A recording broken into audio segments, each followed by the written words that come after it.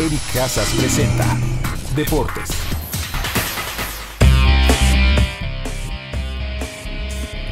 Muy buenos días Carmen, buenos días auditorio. Esta es la información deportiva. En lo que para muchos es el inicio de la mejor parte del año con el kickoff 2017 de la NFL, los campeones patriotas de Nueva Inglaterra iniciaron este jueves la defensa de su título con una dolorosa derrota, 42-27 ante jefes de Kansas City en el Gillette Stadium de Foxborough, Massachusetts. Alex Smith, quarterback de la tribu, comandó la victoria de su equipo con cuatro pases de anotación y 368 yardas. La semana 1 continúa este domingo con 12 encuentros, entre los que destacan Atlanta contra Chicago, Filadelfia contra Washington, Seattle contra Green Bay y Nueva York contra Dallas.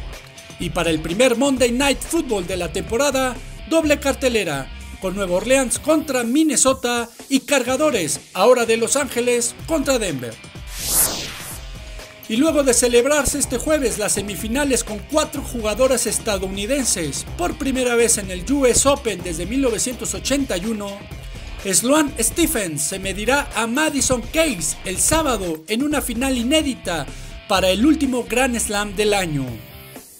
En el primer duelo, celebrado en la cancha del Arthur Ashe Stadium, Stephens venció 6-1, 0-6 y 7-5 a Venus Williams, mientras Case barrió a Coco van der en sets corridos 6-1 y 6-2.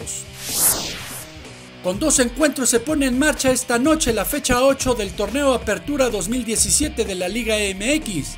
En primer lugar, Puebla intentará aliviar su desesperada situación como último lugar general y dar un respiro a su técnico Rafael García cuando reciba al invicto Cruz Azul en el Estadio Cuauhtémoc.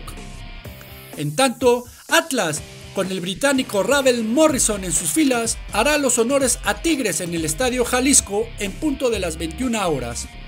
Para este sábado los encuentros son Lobos WAP contra Morelia, Querétaro contra León, Monterrey contra Necaxa, Pachuca contra Guadalajara y América contra Veracruz. La jornada se completa el domingo con Pumas contra Tijuana y Santos Laguna contra Toluca. Recuerde que podrá consultar los detalles de estas y otras notas deportivas en aristeguinoticias.com. Muy buenos días.